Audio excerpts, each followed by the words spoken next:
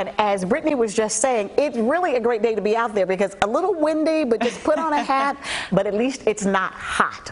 Yes, it could very much be that, couldn't it, Robbie? It could be very uncomfortable this time in April. I, I was wanting to tell Brittany not to blow away because it felt like she was having to brace with those winds out there. They've been tough. And of course, it's all been thanks to our pressure changing pretty rapidly. A strong storm system.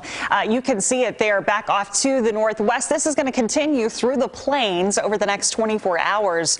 And it does have a cold front trailing back behind it. So, of course, we've been talking about this for days out, how finally we had some significant rain in our forecast. The good news about this rain is that it doesn't ruin your whole weekend. So, for uh, uh, that crew out at the park there with Brittany, you're going to be fine. And really, for any plans today, we are looking at dry weather. In fact, even tonight, this is just an isolated storm threat. I think most of us are dry, about a 20% chance of a couple storms overnight, and that would be far to the west. But I think overall, we are seeing dry weather.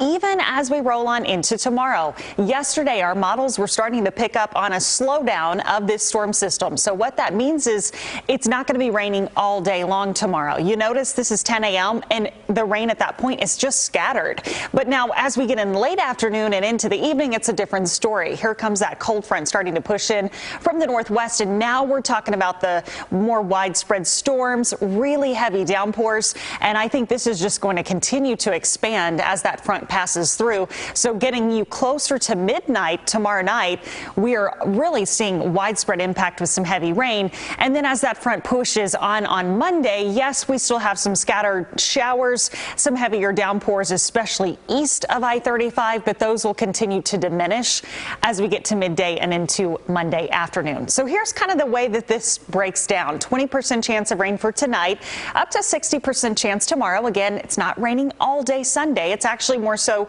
Sunday night and into early on Monday. Then we'll start to wrap this up. This does mean some needed rain for us. We've got a deficit for what is average for this time in April of over a half inch. So we still are trying to make up for some needed rainfall from the past, really just this spring season.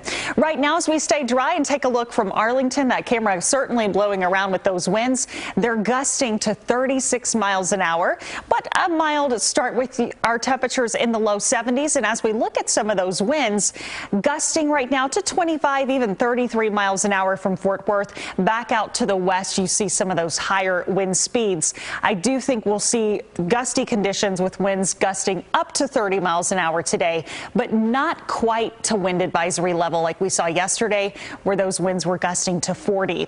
Look at your hour by hour forecast. Sunshine back as we get into the afternoon. We'll see highs in the mid 80s, and I wanted to give you something to look forward to. We've had that high humidity. Well, when is it going to change? When does that dry air arrive? Here comes the cold front by Monday night, and certainly when you wake up on Tuesday, refreshing air will be back. So there you go. Tuesday morning, waking up to numbers near 50 degrees. It may even need that jacket, and highs by Tuesday in the mid 70s. Robbie? That sounds good. Thank you, Annalise.